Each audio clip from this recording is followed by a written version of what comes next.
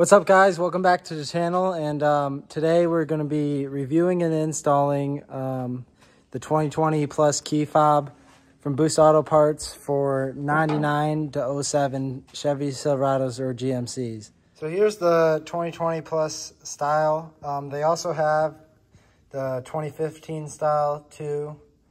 Um, but here's the yeah here's the difference between the stock one and uh, Boost Auto Parts. Um, this one I was having a lot of trouble with. Uh, it wasn't unlocking or locking all the time, and the buttons were getting stuck down, and it just looks like junk. So, um, Boost Auto Parts sent me out this uh, 2020 Plus key fob. And all right, guys. Um, so the process of programming this new key fob is actually really easy.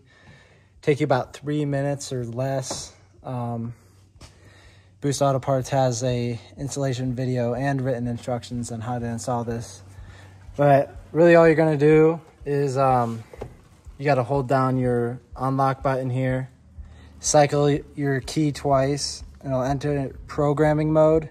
And then you hold down the lock and unlock um, for about 30 seconds or so or until you hear your horn beep. And then it's programmed.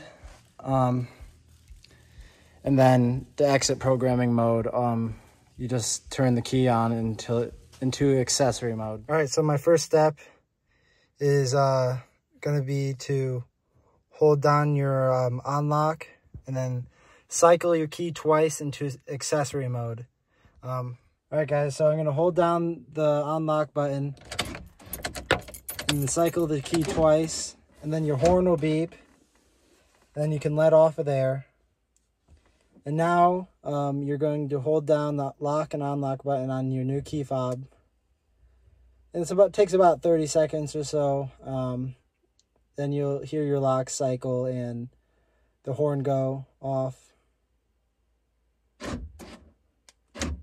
All right, so our lock cycled.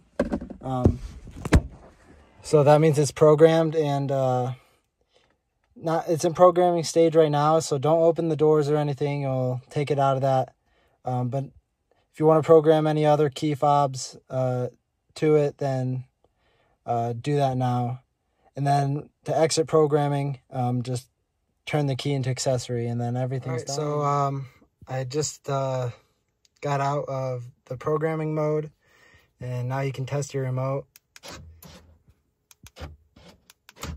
And it works flawlessly. Everything locks, unlocks. Feels a lot better, more stout.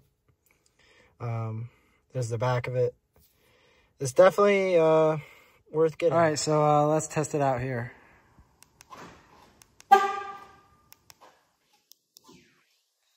So yeah, um, just a quick little video of the install and uh, review of this Boost Auto Parts key fob for the 99 to 07 GM trucks.